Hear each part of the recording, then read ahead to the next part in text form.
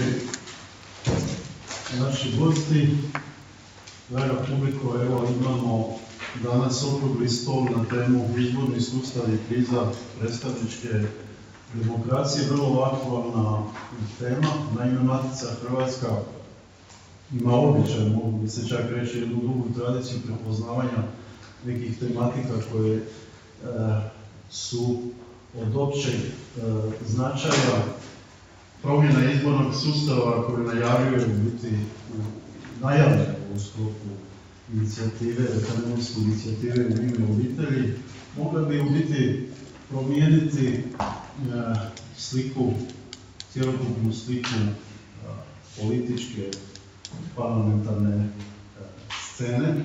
Stoga držimo da ovakva otvaranje ovakve javne rasprave iznad naravno svih pristranih recimo senata naglasaka i navijanja za jednu ili drugu stranu pogodnika pristaša ili protivnika tog referenduma u Matici Hrvatskoj smo smatrali e, da je u kontekstu danjeg prosvjećivanja e, javnog mijenja e, glede samog tog referenduma.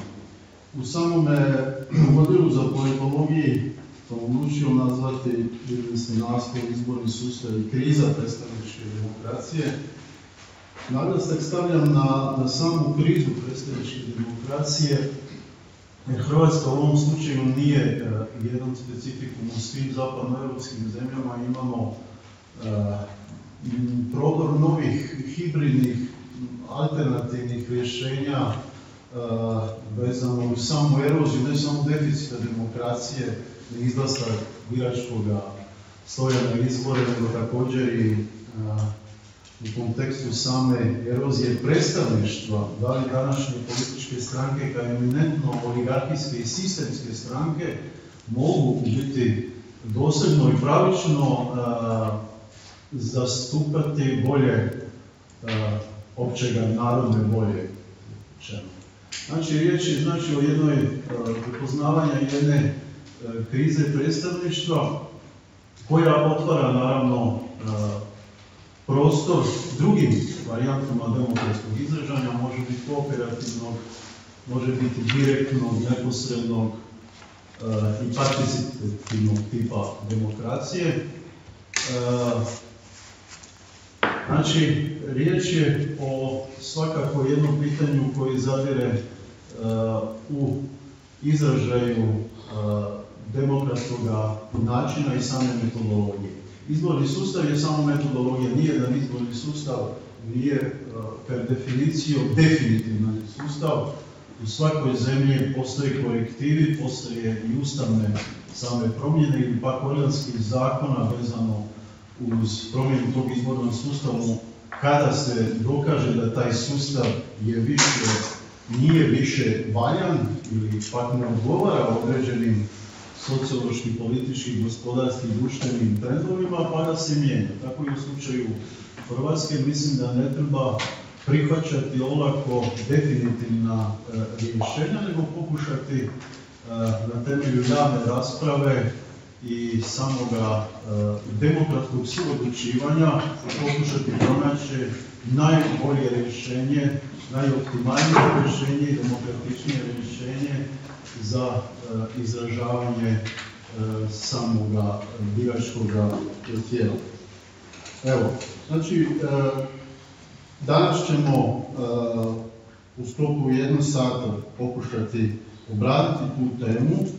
Naši sudionici su Krešimir Planić, koji predstavlja ovdje udrugu ime obitelji, Robert Podolnjak, sa pravnog fakulteta sveučilišta u Zagrebu, Darko Poček je sa fakulteta sveučilišta u Zagrebu, Krko Jolić sa instituta za filozofiju i Tomislav Jorić. što se tiče metodologije, svaki će izlagač imati desetak minuta, znači izložiti svoje teze, nakon čega će uslijediti kratke replike na ta izlaganja i nakon toga ćemo otvoriti jednu kratku raspravu. Evo, prepuštam riječ uh, gospodinu Krešinu Planinču kao predstavnik i nositelj tog samoga projekta referendumskog. Zahvaljujem. Evo, hvala Matici Hrvatskoj, hvala vam što ste ovako lijepo dotakli aktualnu temu i organizirali ovakvu diskusiju.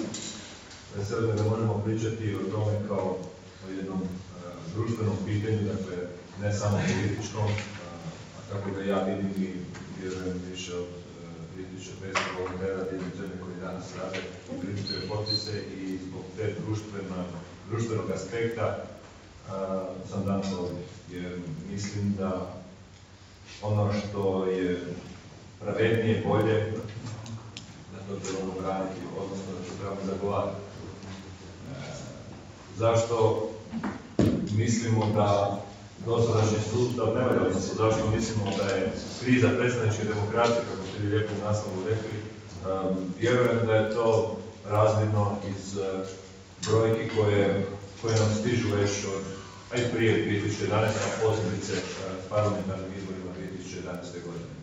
Još 2010. godine znate i sami da je Ustavni sud upozorio na nejednakost težine glasa, to je nevaljanost da pojednostavnim izbornog sustava, a a iz njezine brojke koje je prvi put evo profesor Podolnjak, inače predavač e, izbornog sustava, izbornog predmeta na pravnom fakultetu je iznio nakon 2011.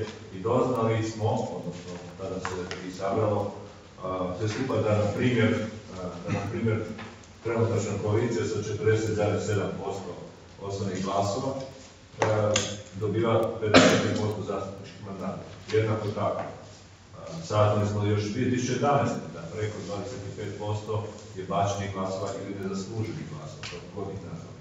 Znači, to su sve, e, recimo, motivacijski elementi koji su nas doveli do toga da se zapitamo, pa dobro, što su to e, izbori za Hrvatski sabor?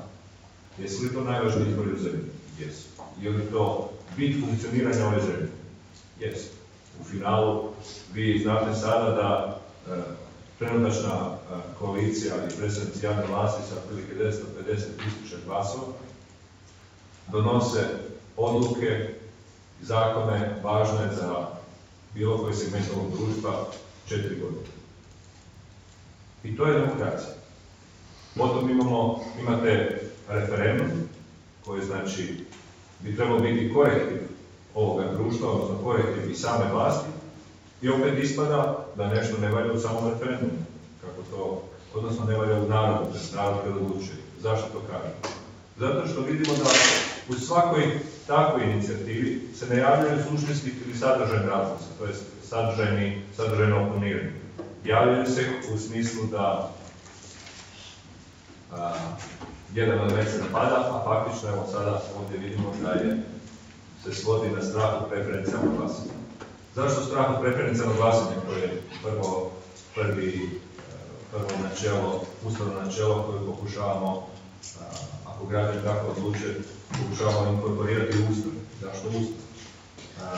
Iz jednostavnog razloga što građani ove zemlje žele odgovornost i žele političara okrenutog prema narodu, ne prema predsjednici strane. Dakako, iskustva europskih zemalja pokazuju da je, da je to bolje, dobro, odnosno bolji, razmjerniji izborni sustav kakav imamo. Ustav, od, e, zašto ustavna kategorija?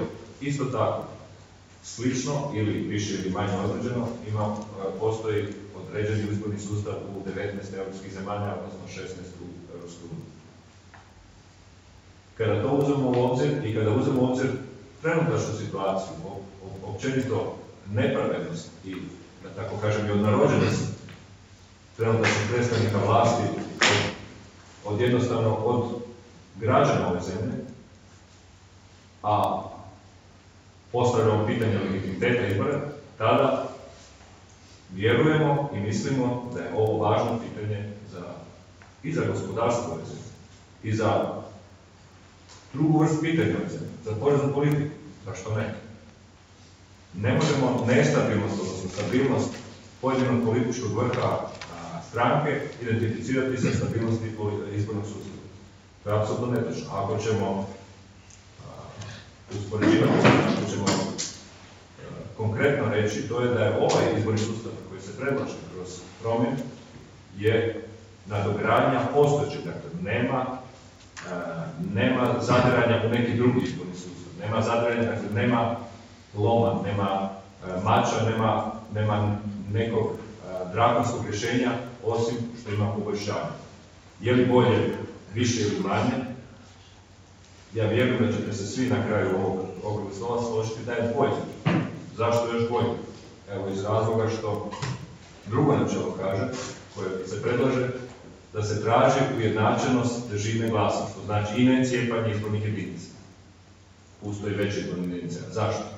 Zato što do sada su izborne jedinice odstupale po broju birača. Znači imate 10 izbornih jedinica, govorimo o 140 e, zastupnika koje biramo tih 10 izbornih jedinica, ista izborna jedinica sa različitim brojem birača odstupa na primjer ima 300.000 glasa, 300.000 birača i 440.000 i daje isti broj zastupnika. Je li to pošteno? Nije. Sam zakon kaže da treba odstupanje smije biti 5%, plus minus 5%, a sabor se toga ne drži. Dakle, predstavnici oni koji su bili toga se drži. Ovime dolazimo i do saniranja tog problema. Uz to, ako imate, govorimo o biračima izvan zemlje, govorimo o 400.000 birača sa državnom prebivalištem izvan Republike Hrvatske, e, postoji jedna za koje je dovoljno prezentirano u javnosti, želja da se elektronički ili dopisno glasuje. Zašto je to dobro i zašto je to bolje? Iz jednostavnog razloga što će državljani koji, inače naši državljani, znači koji imaju prebivalište za Republike Hrvatske, lakše moći pristupiti izbornim mjestima, lakše glasati i na taj način, vjerujemo, povećati izlaznost. Koja je poteškoća i koje je, recimo, jedan od elementa jednako tako krize predstavničke demokracije. Što se tiče izbornog praga, dakle, on je snižen i razlog tome je ponajviše onih 25% propalih glasova koje sam na početku spomenuo. Znači, traži se model koji je pravedniji i koji će učiniti onaj, ovaj naš razni sustav razmjernim. U svim simulacijama koje smo radili, ali poštenim, da tako kažem, i da sa izbornim rezultatima 2011. i sa, i sa uh, anketa ne dolazimo do većeg broja strana. Zašto ne dolazimo? Zato što je, morate gledati taj izborni prag, morate gledati u kombinaciji sa veličinom izborne jedinice koje se predlaže i sa pojedinačnim kandidacijskim listama koje zastupamo. Znači samostalnim kandidacijskim listama. Zašto je to tako? Zato što primjeri se na rezultatima 2011. preko 3% ispada da bi samo imali dvije nove stranke, ASLS, ASP, po govorim tim rezultatima sa većim izbornim jedinicama. Ne govorim se o anketama. A drugo je zato što od koalicijskih znači, lista, ako bi bile samostalne pojedinačne liste, tada bi vidjeli koliko biračko tijelo stoji za koje političke opcije i je li to ta politička opcija uopće prelazi prag. Znači da bi od postojećih saveza, kandidacijskih takozvani, bili DC, na primjer, HUS i tako dalje, ne bi prešli prag koji sada koaliraju, odnosno koji su u koalicijama došli u Sabor. Opet pitam, postavljam pitanje, je li to, ispravno? Je li ispravno da na jednoj listi imate 3, 4, 5, 6 stranaka koja ima, usput rečeno, isti izborni prag koji je jedna jedina politička stranka. A da ne znate koliko biračko tijelo stoji iza pojedine stranke u toj listi. Nije. A što se ovime nudi? Ovime se nudi da imate, svaka politička stranka ima jednu kandidacijsku listu, pređi izborni prag od 3% i potom koaliraj, odnosno dogovaraj kako god hoćeš. Ispravnije reći, koaliraj prije dogovaraju i prije, nisu zabranjene prednosti koalicije, kako se to navodi u javnosti. Zabranjene su zajednički kandidatske liste, sporazumi, dogovori, bit će sklapani prije i poslije. Ali funkcioniranje države, odnosno bit prijedloga je u samostalnoj kandidatskoj listi da bude e, da birači kažu koja stranka može e, upravljati resorom, na primjer gospodarstva. Sada imate stranku ANS koja je trenutno dobije 1,7 milijarda glasa, koja upravlja gospodarstvom, vidjeli smo čak analizu milijardi sa trgovačkim društvima koji su njihovi predstavnici, to je politički zastupnici, da tako kažem, upravljaju, a ne znate koliko su dobili glasova. Mi ne znamo. Zašto?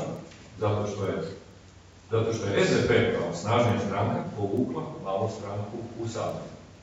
Ne kažem da ne su, vjerojatno tada bi prošlo izborni ali pošteno je reći koliko iza tebe političar ili pojedini osoba stoji, stoji glasva i onda koliraju, odnosno reći u redu, on je dobio je tako i zastupaj, e, zastupaj hrvatske državljane, zastupaj na način kako misli da je najbolje jer su ti poklonili povjerenje. I usto smatram da e, koncept ovoga, ovoga zagovaranja, ovoga ukazivanja na polje, smisao je da predstavnici vlasti shvataju vjerenje naroda, da se održavaju vjerenje da žele ono što je odraz volje nas birača, a ne da imamo glasačku mašinu koja nema prijedloga, koja nema u saboru, koja nema prijedloga, koja nema, dakle, proaktivnog pristupa osim stranačke volje. Je li dobijemo to preferencijalni glasom? Je li ovo idealno rješenje? Pretpostavljam da nije. Da ima prostora za urediti još dvije izborne jedinice, kako govore. Ima još prostora za urediti druge stvari. Ali, je li poštenije i ispravnije, ako gledate segment po segmentu ovoga prijedloga, uvjere sam da je. I nadam se da će to prepoznati i naši građani sljedeći. Hvala. Hvala gospodinu Planiću. Sad je na redu gospodinu Julić. Također se zahvaljujem na pozivu i na organizaciju ovog okruglog stola. Ja nisam stručnjak baš za izborni sustav, tako da ću se više koncentrirati na ovaj drugi segment koji ste vi također naglasili kao iznimno važan, to je ta kriza predstavničke demokracije. Sad, o krizi demokracije zapravo se govori o kako demokracija postoji. Općenito, o krizi se stalno govori.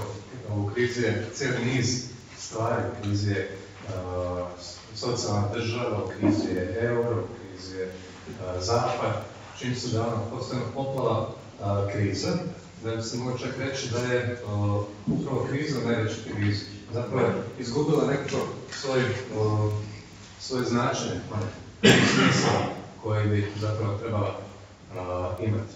E sada, kako je riječ, o kakvoj je krizi riječ, kada govorimo o krizi predsjedničke demokracije? Je li to kriza nekakva je akutna, koja će dovesti do propasti demokracije, kako znamo, i da će zamijeniti neki drugi politički sustav, možda bolji ili loši, ne znam, čini se da to nije baš slučaj. mislim da demokracija, kako je sada poznajemo, i nadalje će ostati ovaj, dominantan politički sustav, bar ovdje ovaj kod nas na zapadu i mislim da, kao što je kolega rekao, cilj ove inicijative nije da se demokracija radikalno promjene, nego da je se dopuni ispravi neke njene nedostatke i da se učini bolje i pravednije. Ne znam je li to ovaj slučaj, to ćemo tek vidjeti. Meni se neke rješenje koja se ovdje tu ponuđene sviđaju, sadržaj mi se sviđa, ali recimo onako formalno smatram da se to ovaj ugradi ustav i ne, ne toliko. Naime, čini se kada izborna pravila su ključ svake demokracije i uvijek je funkcioniranje demokracije ovisi o dobrim izbornim pravilima. I upravo građane, ugrađivanje u izbornih pravila Ustav, čini se da se omogućava mogućnost da se ta pravila stalno događaju, mijenjaju, upodešavaju aktualnim potrebama i zahtjevima vremena. E dakle, kada govorimo o krizi demokracije, također treba razmisliti o tome koje demokracije, o kojoj demokraciji mi zapravo govorimo. Predstavnička demokracija je zapravo vrlo širok pojam, puno toga je tu uključeno. Prije svega, postoji jedna različita definicija demokracije koja polaze od nekih minimalnih, minimalističkog svačanja demokracije. Do onih koji zapravo uključuju cijeli niz stvari, socijalnu državu, jednakost, ravnomjernu raspodjelu javnih dobara i tako dalje. Možemo reći da su svi ti elementi nekako u krizi. Ono što mi se čini kada govorimo o sadašnjoj krizi, dakle ne ovoj krizi o kojoj govori Platon i ostali teoretične demokracije, dakle ono što je sada dominantno kada govorimo o krizi demokracije je upravo jedan taj ekonomski moment koji stoji u pozadini. Naime, općenito na zapadu, a svjedoci smo toga ovdje u Hrvatskoj, jednostavno se o krizi demokracije najčešće zapravo govori kada stvari pođu loše u ekonomskoj sferi. U Hrvatskoj zapravo već šest godina imamo situaciju stagnacije i ekonomskog pada. I naravno da u toj situaciji ljudi su jednostavno nezadovoljni sa načinom na koji se upravlja država. Postoje različite analize kako dolazi do krize demokracije. Jedna utjecajna upravo tako govori da ekonomski ciklusi, pad u ekonomskom ciklusu je upravo taj trigger, taj okidač koji dovodi do krize demokracije. U toj situaciji država se nađe u dilemi upravljačke strukture da će rezati na socijalne fond, rezati socijalna davanja, obično se ide na to i ukoliko ne uslijedi brzi oporavak, onda dolazi do nezadovoljstva građana, što onda vodi apatiju i zapravo podrivaju se osnovni temelji demokracije. Kako se može riješiti taj problem? Kako riješiti tu apatiju građana? na jedan način, možda i ovim putem, davanjem građanima više, utjecaja u kreiranju politike, preferencije glasovanja, to sigurno daje. Dakle, nekako ljudi se osjećaju povezaniji sa izbornim sustavom i spremni su se uključiti u političko djelo. E sad, mislim da ovo je jedan dobar ovaj, pokušaj, no trebamo vidjeti ovaj, kako će se realizirati. Dakle, mislim da je bitno da ovo izostan jedan izborni ovaj, zakon, ali možda ipak ne staviti ga u pusti. To bi kod nas. Hvala gospodinu Joviću. Sada prepuštam riječ gospodinu profesoru pravnog fakulteta Robert Hvala lijepa, malo ste snijegili vremenski, ali dobro. Ja sam svoje napomene napisao. Prije svega hvala vam što ste me pozvali na ovaj okrugli stol kao prilog javnoj raspravi o reformi izbornog sustava. I ne kažem to iz puke situacije, nego iz jednostavne činjenice što godinama ovakvih skupova uopće nije vidljiv. ja sam se pokušao prisjetiti kad sam zadnji imao prilike govoriti na nekom javnom okruglom znanstvenom skupu o izbornom sustavu. I to je bilo 2011. u Hrvatskoj akademiji zašla jedna knjiga u veljači 2011. bio okrugli stol o izboru zastupnika u Hrvatski sabor i o referendumu. Nakon toga, tri i pol godine, ništa. Sada, naglo je zapravo u našem javnom diskursu se pojavile teme o izbornom sustavu, o izbornim jedinicama, o izbornim pravu, sve neke čudne teme s kojima se ljudi inače nikad ne susreću s nekim tehničkim terminima koji su im vrlo udaljeni u pravilu razmišljaju da se radi o jednom od najvažnijih pitanja demokratskog sustava, jer izborni sustav je mačaka demokracije. To je sustav koji determinira kako ćete imati stranični sustav, kako ćete vladu imati u parlamentu, hoće li biti jednostranačka, koalicijska, koliko će stranaka biti u parlamentu, kako će uopće funkcionirati čitav upravljački sustav. Ali upravo tome posvećujemo najmanje pažnje. Ja prije svega zahvaljujem inicijativi u ime obitelji koja je zapravo svojom inicijativom uh, natjerala javnost da se pozabavi ovom iznimno važnom temom i koja će dominirati još određeno vrijeme u našim javnim raspravama. Sve što sam govorio u Hrvatskoj akademiji prije tri i pol godine, čitao sam jučer da vidim što je to bilo, sve je aktualno danas. Sve što sam rekao o nakaradnim značajkama hrvatskog izbornog zakonodavstva, sve stoji i danas, ništa se nije učinilo u tri i pol godine. A to je bilo rečeno čak prije posljednjih parlamentarnih izbora 2011. I očekivao sam tada još bilo nekog malog vremena da se neke promjene učine, međutim Hrvatski sabor nije učinio ništa. Nije bilo bitno što ih i Ustavni sud upozorava da nešto moraju učiniti i bez obzira čak i na to nisu učinili ništa. Međutim, ono što se dogodilo nakon izbora 2011. je pogoršalo situaciju sa izbornim sustavom i to drastično je. Što se dogodilo 2011. Rekao vam je već djelomično gospodin Planković. I što je po meni ishodište i moralo bi biti ishodište svake izborne reforme. To je činjenica da smo imali najmanji odaziv na parlamentarnim izborima od kada se bira Hrvatski sabor. U Hrvatskoj je otprilike oko 60% građana, sve, što je u europskim okvirima vrlo malo.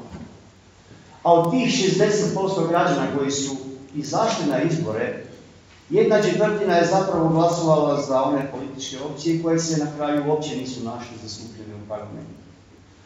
25% glasova je završilo u košu za smeće. Tako ja kažem da je činjenica. Preko 600.000 glasova.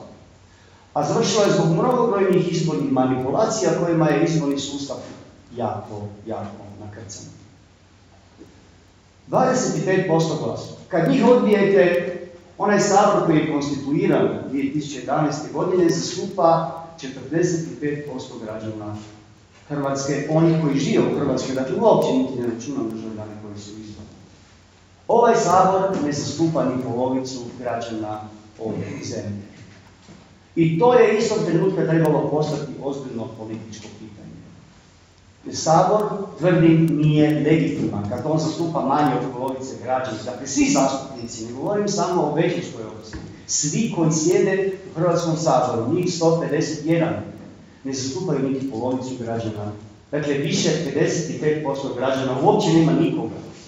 Nikoga u Hrvatskom saboru. Ili nisu glasovali, ili oni za koje su glasovali nisu izabrani. Od prvoga dana je to trebala biti temeljna činjenica kojom su se trebali baviti ustavni pravnici, politolozi, svi drugi e, e, e, znanstvenici, mediji, političari, nevladine Reći ću vam jedan primjer, moram ga, moram ga spomenuti, Njemačka. Zadnji izbori u Njemačkoj rujan 2013. godine dogodilo se nešto što se Njemcima nikad nije dogodilo, a to je da i veliki broj građana glasovalo za političke stranke koje nisu ušle u njemački parlament jer nisu prošle tu famoznu prepreku od 5%, taj izborni prag koji je u Njemačkoj isto takav kao i od nas. 15% njemačkih građana koji su izašli na izbore su glasovali za stranke koje nisu ušle u parlament. Čak i liberalna stranka koja je u Njemačkoj skupina bila u parlamentu od samog osnivanja druge Njemačke republike. I neke druge stranke, poput alternative za Njemačku, Piratska stranka i tako dalje. 15% građana, što je konkretno u brojkama oko 7 milijuna građana, koji su izašli na biralište, glasovali, a onda su ostali bez svog zastupnika. Što se u Njemačkoj dogodilo nakon toga? Istog trenutka je počela velika ustavno-pravna rasprava. Ljudi moji, 7 milijuna građana je ostalo bez glasa u njemačkom Bundestagu. To su, to su stanovnici dvije njemačke pokrajine. Ti ljudi su izašli na birališta i nemaju nikoga u parlamentu. Ko je kriv za tu sad situaciju? Kriva je izborni prag od 5%. On je trebao biti niži. Što ako se to ponovi? Je li to sad u skladu sa Ustavom? Velika je rasprava ustavno-pravnih stručnjaka, politologa, uključuju se čak i bivši suci Ustavnog suda predlažu da se izborni prag smanji na 3%. Jer sa ovim pragom je njemački parlament dobio jednu nakaradnu situaciju, dobio čak veliku koaliciju koja nije dobra sa stajališta demokracije. Opozicija je gotovo izbrisana u njemačkom Bundestagu, jer velika koalicija ima preko 80% zastupnika, opozicija ne može ništa praktički, sa brojem zastupnika ne može niti bitnije e, stvari pokrenuti, čak ni ocjenu ustavnosti zakona. I o tome je velika rasprava, da se nešto mora mijenjati, ili se mora mijenjati izborni prag, ili se mora građanima dati prijedlog je neki rezervni glas, pomoćni glas, ako njihova stranka za koju su glasovali ne dobije 5% glasova, da imaju pravo i na rezervni glas za neku drugu političku opciju uh, koja bi mogla ući u parlament. Dakle, da mogu slobodno glasovati za stranku koja je najbliža, ali da taj glas neće biti izgubljen. Jer Njemci svačaju ne mogu imati 7 milijuna izgubljenih glasova i imati legitiman Bundestag. U Hrvatskoj smo izgubili 25% glasova, daleko više i ništa se nije dogodilo. I to je sa stajališta javne rasprave žalostna činjenica. I tek sada ta pitanja se zapravo javljaju u javnoj raspravi i zbog toga mi je drago da se o tome može govoriti javno. Nažalost, prerijetko još uvijek. E sad, o konkretnom onome što predlaže inicijativa. Po meni je to jedan zaokruženi prijedlog s kojim se ja ne moram apsolutno svim detaljima slagati. Konkretno, kad bi neko gledao moje stručne i znanstvene radove, vidio bi da recimo sam zagovarao prag od 4%, ne od 3, umjesto sadašnjega, dakle više manje ostalo bi moglo proći. Činjenica je da kad planirate neku izbornu reformu, teško je ići u neku veliku drastičnu reformu koja će totalno mijenjati izborni sustav. To, za to treba puno više vremena, puno više javne rasprave. Ovo je trebao biti iskorak u jednoj djelomičnoj reformi, ali je ona zapravo cjelovita i zaokružena. S obzirom na sve što stoji u njoj, ja bih rekao da je najbliža skandinavskom modelu ustavnog uređenja izbornog sustava vrlo bliska u mnogim detaljima uređenju Švedske, Norveške, Danske. E sad, ako su to zemlje poznate po lošoj demokratičnosti, po lošem političkom sustavu, po lošoj političkoj kulturi, onda je ovo pogrešan korak. Ako mislimo da su skandinavske demokracije uzor evropske demokracije, onda to ne može biti loše. O tome se premalo govori. Švedska, Norveška i Danska imaju vrlo slično uređenje. Sa izbornim pragom od 2 do 4% nema, nema zajedničkih koalicija, sve je to normirano u Ustavu i izborne jedinice i način izbornog sustava i preferencijalno glasovanje. Zašto? Da političari zakonima ne bi manipulirali izborna prava. Zato je to u Ustavu. I ne samo tamo, nego i mnogim drugim državama. Po meni su najmanje sporni dijelovi su nesporni dijelovi za javnu raspravu, preferencijalno glasovanje i izborne jedinice. O izbornim jedinicama se javno očitovao i Ustavni sud. O preferencijalnom glasovanju zna se jako mnogo, građani su ga mogli provjeriti i u tome zapravo ima najmanje, barem javnog otpora. Dakle, neću o tom govoriti. Nego ona dva dijela koje bi trebali biti sporni a to su prije izborne koalicije, odnosno njihova zabrana i izborni prag. Zabrana predizbornih koalicija. Ovo što danas čujete da su ove koalicije koje sada imamo, dakle bipolarne u kojem jedna i druga velika stranka oko sebe slaže kroz malo strana, da je formiraju se dvije velike prije izborne, ne samo koalicije, nego zajedničke liste, koje se sučeljavaju blokovski na izborima, to je nešto što ne postoji u Evropi. Toga nema nigdje. Ja bih molio medije, koji vjerojatno ima, da pitaju političare koji zagovaraju taj sustav na temelju kojih europskih iskustava. Gdje su to vidjeli? Gdje? Samo nek vam kažu jednu europsku državu u kojoj su to našli. Ima jedna koja ima djelomično drugačiji, odnosno imala Italija, gdje stranke imaju svoje liste, nastupaju kao koalicija, kao listovni savez, ali svaki birač glasa za svaku stranku, za svaku listu posebno, za njene kandidate, i onda se ti glasovi stranaka na kraju zbrajaju, dakle dobije se ukupni broj mandata, ali se zna i pojedinačni broj mandata za svaku pojedinu stranku u toj prije izbornoj koaliciji. To je nešto najsličnije što postoji u Hrvatskoj i to nije isto. Dakle, tamo se glasuje opet za pojedinačnu stranku koja čini dio koalicije, tako da neke stranke unutar te koalicije ne moraju dobiti nijedan mandat. Prvo to je to ne postoji nigdje. Čak i talijanski izborni zakon ukinut od Ustavnog suda, oni uopće nemaju trenutno izborni zakon. Da li bi Italija trebala biti primjer uopće nekog demokratskog političkog sustava, stabilnosti izvršne vlade? Sigurno ne. Dakle, kad govorimo o predizbornim policijama koje, koje se kod nas formiraju, one su nešto što je nepoznato u europskim demokratskim državama.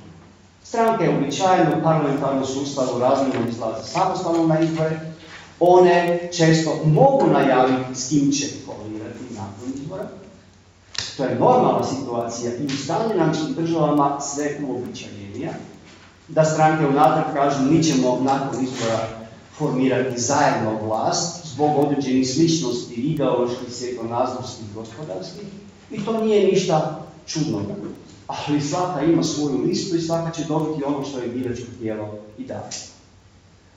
Prema tome, zabrana priizbornih koalicija je zapravo prinudno rješenje da bismo se ponašali kao i u drugim evropskim demokratskim državama koje imaju razvojni izborni sustav. Ništa drugo. Zabrana koalicija je zapravo i nužna sa preferencijalnim glasovanjem. Jer ako imate zajedničku listu mnoštva stranaka i preferencijalno glasovanje, mogli biste dobiti rezultate koji ne bi bili posve objektivni.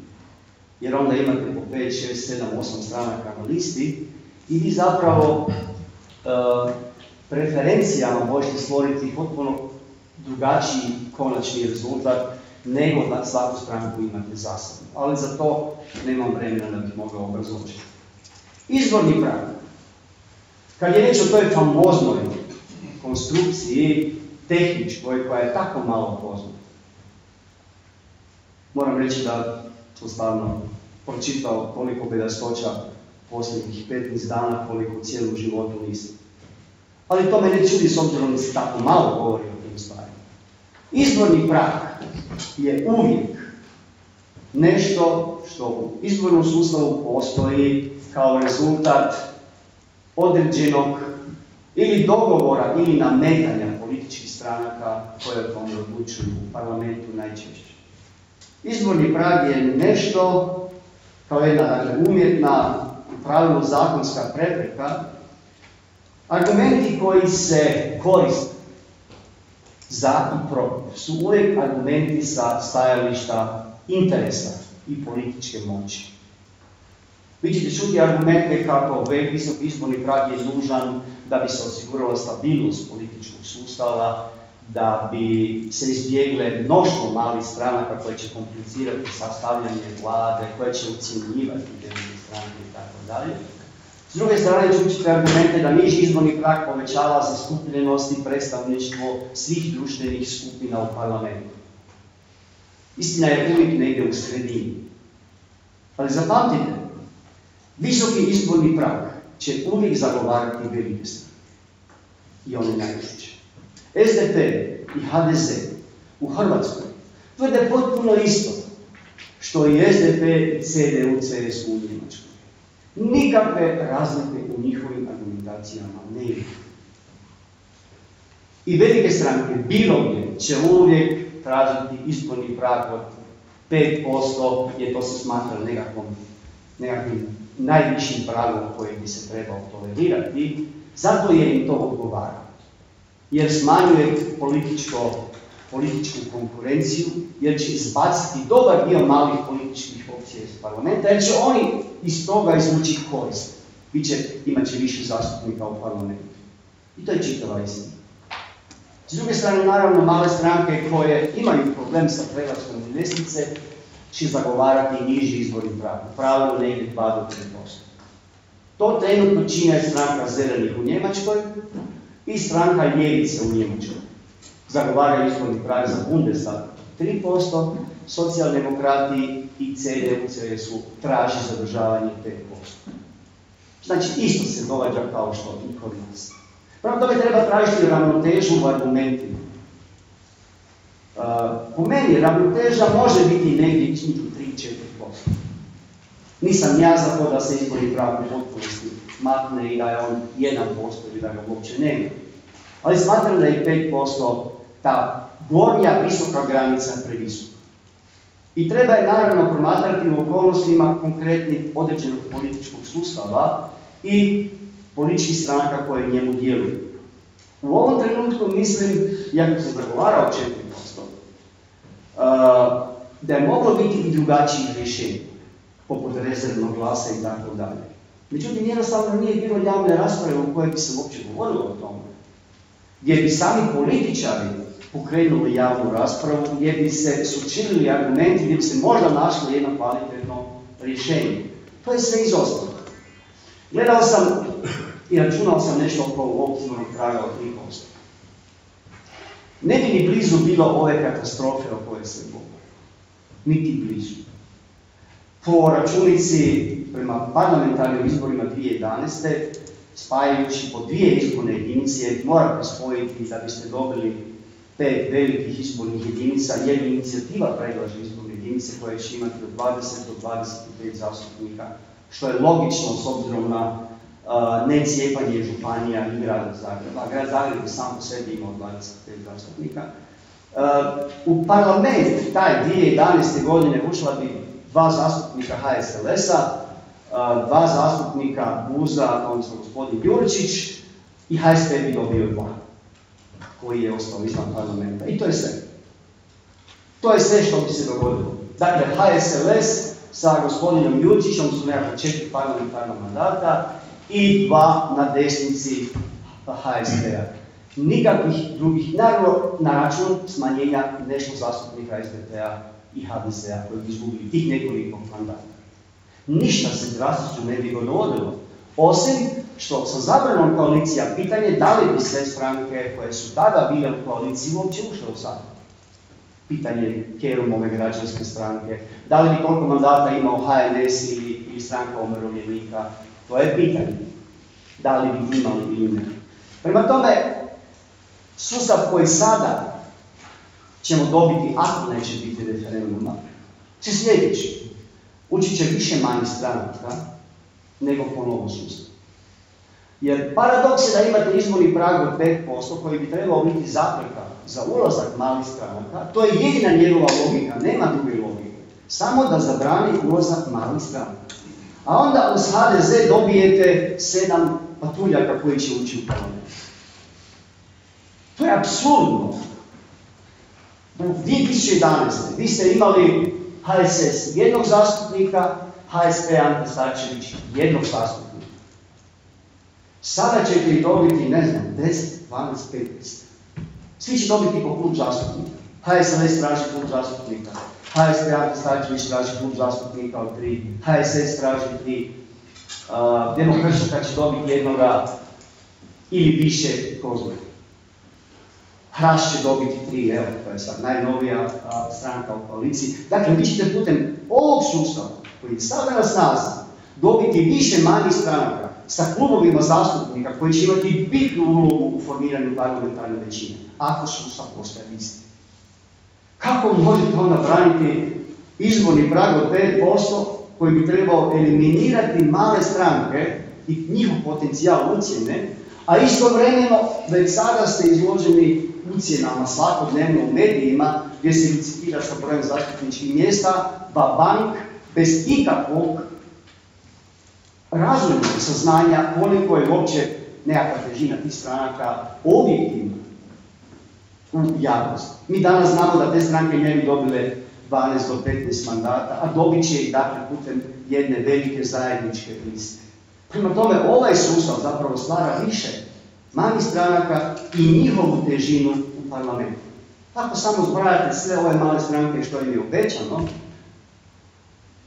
u HDZ-ovoj koaliciji, pa dodajte još HDSSB koji je nužan u bilo kakvom formiranju koalicije desnog centra, dobit ćete minimalno 9-10 stranaka u toj koaliciji.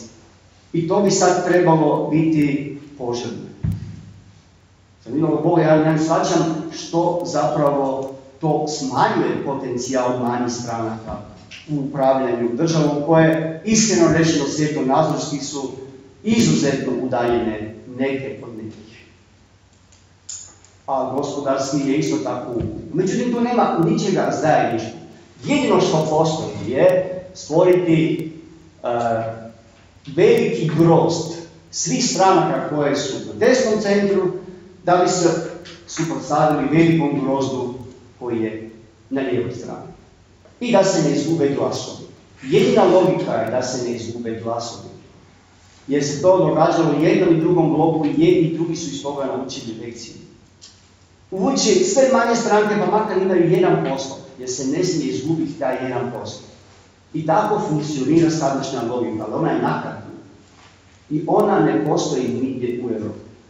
Ako smo mi ovdje u Hrvatskoj izmislili suvremeni model napredne, parlamentarne demokracije sa ovim razvojnim sustavom, ako netko misli da jesmo, onda u redu. Ja kao profesor koji predaje ustavno pravo i izborno pravo, tvrdim kategorički da nismo. Hvala Evo, hvala gospodinu Bojnaku, prepuštam riječ gospodinu Jovniću. E, hvala lijepo. Dame i gospodo, ja se ispričavam što ću jednim dijelom ponoviti, ponoviti ovo što su kazali e, gospodarski govornici, što ću se pretežno na dijelu složiti s profesorom Podoljakom. E, ja sam zapravo, naravno, nisam imao jasnu predlogu kako tehnički ovo izgleda, pa sam pripremio pisano izlaganje, kad sam ga već pripremio, onda je bilo ovaj, neracionalno da, da ga ne, ne čitam, odnosno da se ne služim. Dakle, ja ću protivno svim nekakvim retoričkim pravilima, neću prethodno izložiti načelna stajališta, pa onda kazati zašto sam za referendum, nego zašto sa svoga e, etičkoga i nacionalno-političkog stajališta držim da je taj referendum potreban i, zapravo da je nužan. Kao što smo već čuli o tome kako bi narod trebao odlučivati o svojoj sudbini, rasprave se vode od početka pisane povijesti, pa sve do danas, i nakon svih tih rasprava nismo došli do boljega rješenja od demokracije. To je demokraciji upućeno mnoštvo prigovora nakon se njezinu predstavničkom obliku, ali svi se oni daju sažeti u jednu razmjerno duhovitu Mussolinijevu dosrčitu, da je demokratsko odlučivanje zgodno i poželjno onda kad se odlučuje o tome gdje će se skopa seoski bunar. Ali da u svim drugim situacijama ono skoro nužno vodi u pogrešne odluke, jer kako je dakle Mussolini sa svoga elitističkog stajališta govorio, puk, plebs, ne zna što želi i ne zna što mu je potrebno, pa ga onda uvijek treba netko voditi, bili to Platanovi filozofi, bili to rimski konzuli ili nasljedno plemstvo, bio to politbiro centralnog komiteta komunističke partije Jugoslavije ili pripadnici družine Kostura i Lubanje, bio to dragi Ivo, dragi Zoki ili dragi Tomo ili društvo oko njih birano, da parafraziram Antu Kovačića, odnosno njegovu persiflažu Ivana Mažuranića, društvo birano ne po obličju i ljepoti, već po tvrdoj koži i debelom obrazu, po broševima skupim i brcima i Naravno, čovjek koji drži do svoga dostojanstva ne osjeća se sasvim lagodno u situaciji kad mu prodike o demokraciji drže članovi Centralnog komiteta komunističke partije, dakle tijela koje je već po svojoj definiciji e, kao nijedno drugo simbolizira nasilje i totalitarizam, ali kako su se mi u Hrvatskoj navikli na svašta, moramo se naviknuti na to da se istih, ali ne samo istih krugova i primjeri neposredne demokracije, kao kakve danas imamo recimo u Švicarskoj i ne samo uvijek, proglašavaju prijednjom demokracije. Moramo se naviknuti i na to da se s raznih strana, kao glavni argument protiv referenduma, odnosno protiv razmjernog izbornog sustava, preferencijalnog glasovanja i sniženja izbornog praga, ističe jedan te isti argument, dakle da će to ugroziti stabilnost vlade, stabilnost izvršne vlasti. Prema tome, stabilnost se predstavlja kao vrijednost koja je veća od pravednog zastupanja u Saboru, kao svrha koja je viša od demokracije. A možete zamisliti u kakvoj bi mi tužnoj situaciji bili kad bi Milanovićeva vlada bila nestabilna. Ko bi nas tako sigurno rukovodio u nezaposlenost, bijedu i propast? A da su Sanaderove vlade bile nestabilne, bi nas uopće kao naroda digao? Možemo li zamisliti narod, odnosno svoj život bez Fimi medije? Možemo li zamisliti život u Hrvatskoj, a da nam, recimo, od kulturnoj politici ne odlučuje Sanaderov koalicijski partner Čeda Višnjić i njemu slični, koji u svoj toj silnoj poplavi kulturnih subvencija i nekulturnih provizija, nisu uspjeli pronaći par desetaka tisuća eura za tiskanje izabranih matičnih dijela na njemačkom jeziku, ali smo zato u trošku Hrvatske države dobili, da budem blag, priučena na tezanje Đure Zatezala i pretiske pamfleta Sime Lukine Lazića, srpskog novinara Vraća Povedjača, koji je usred Zagreba poricao da su Hrvati postoje kao narod, ali da su zato Srbi recimo gradili kulu Babilonsku, da su se stoljećima borili protiv Kitajaca, možda su, kako nam je par stotina metara odavde, šapnuo taj Višnjićev preteča, Srbi čak, citiram, narod u kome se i sam Hristo rodio, završenici. Ne mogu se zavravati, ove opaske nisu promašena digresija niti skretanje s teme, nego su samo ilustracija i to vrlo blijeda ilustracija stvarnosti hrvatskog izbornog zakonodavstva i hrvatskog političkog sustava. Jer baš to zakonodavstvo i baš taj sustav omogućili su se nadera Omogućili su Pupovca, Višnića, Milanovića, njima slične i baš to zakonodavstvo i taj sustav jamče stabilnost njihova položaja. Zar to već samo po sebi nije dovoljan razlog da ističemo iz te luđačke koše? Jer da je hrvatsko zakonodavstvo izborno bilo pravedno, odnosno da je bilo ovako kako se predlaže referendumskim pitanju, možda nikad nikog od tih ljudi ne bismo vidjeli na poziciji višoj od šefa kakve omanje partijske ili jednu stranačke no oni i njima slični došli su u situaciju da odlučuju i o sudbinama baš zahvaljujući sustavu koji je postavljen tako da neminovno potiče negativnu selekciju.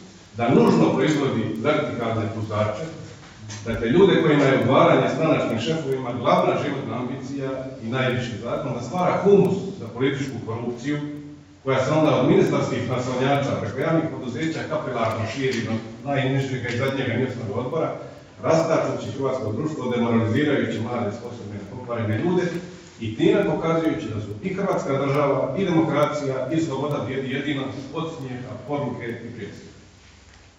Istini zavodno, kao što smo čuli, Izborno zakonodavstvo nije jedini problem našeg političkog sustava, jer da nije političke korupcije koje kod nas crte, čak i u postojećem zakonodavnom okviru bi se dale postići krupne promjene. Primjerice, da bi bilo koja stranka mogla e, legalno politički djelovati, da bi mogla nastupiti na, na ona mora imati statut, mora dakle biti registrirana kod mjerodavnog ministarstva, znači to ministarstvo uprave. Dakle, bez tog statuta ona ne može biti registrirana. Statut ne, ne može biti, ne smije biti protivan zakonu, ne smije biti protivan ustavnim načelima i temeljnim vrijednostima hrvatskog pravnog poredka. Međutim, statuti naših stranaka su redovito koncipirani tako da stranačkim podsvema daju moć koju su imali nekadašnji lenjski gospodara. Povijest hrvatskog višestranača prepuna je takvih primjera. Od 90. do danas, od vremena kad su iz Hrvatske stranke prava očišćeni njezini obnovitelji do današnjeg isključenja Razmira Čačića iz HNS-a i raskolom Krasku, sve bez prava na obranu i bez djelotvornog prava na pravni lijek. Prepuna je dakle Hrvatska dokaza da su političke stranke pretvorene u privatna poduzeća i da se s njima upravlja da se njima upravlja s puno više čvrste ruke i s puno manje pameti nego što se upravlja privatnim poduzećima. Jer tamo vlasnik i uprava nastaje zadržati sposobne i kritične, a ovdje ih eliminiraju čim podignu glavu. I nad tim svi šute. Šuti ministarstvo uprave, šute vlada i sabor, šute upravni sudovi i glasa ustavnog suda. Svima odgovara sustav u kojem se njeguje servilnost i negativna selekcija, pokazuje da naša predstavnička demokracija boluje puno, puno teških E, mi se danas suočavamo s jednom od najtežih, dakle s nužnošću radikalne reforme izbornog zakonodavstva. Ovdje nije rasprava za teorijsku raspravu e, o toj temi, nije mjesto za teorijsku raspravu o toj temi, profesor Podolnjak je naravno u sažetu obliku, obliku koji je moguć ovdje, dakle izložio neke od bitnih e, elemenata, ali moramo biti načinu da ustavno-pravnoj i politološkoj literaturi stvar nije nikakva nepoznanica, dakle znade se da se izbornim zakonodavstvom uvijek hoće postići dva. Jedno je kreirati sustav vlasti koja se bira i drugo je jačati stranačke strukture. Drugim riječima, na teorijskoj se razini znade da se volja birača pokušava modificirati, usmjeravati, nekad više, nekad manje, nekad uspješno, nekad manje uspješno. Znade se koji izborni modeli tendiraju, tendiraju tomu da proizvode određene rezultate. Zato imamo razmjerne i većinske, jednokružne i okružne, izborne sustave, gerrymandering i različite metode prebrojavanja glasova, odnosno njihova pretvaranja u mandate. Osim stabilnošću vlade, neka se koje kakvi izborni mutanti objašnjavaju i nezdravosti društva, manjkom političke kulture i demokratskog iskustva. Međutim, kad nam se danas, 2014. godine, potežu ti izgovori, onda znademo da oni dolaze iz okoštanih partitokratskih struktura koje već dva i pol desetljeća parazitiraju na narodnom tkivu i kese zube prema svakom onome ko bi htio taknuti u njihove lonce misijski.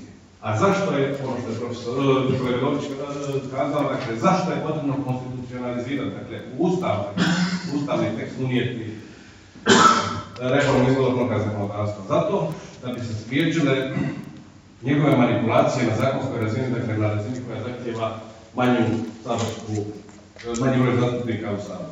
Jer taj odgovor jasan i jednostavan i pravičan je, dakle, treba spriječiti manipulaciju i zakonodavne promjene koje se ponavljaju prije svakoga izbornog ciklusa kad vladajuća stranka ili koalicija obično većinom može prilagoditi izborno zakonodavstvo svojim projekcijama.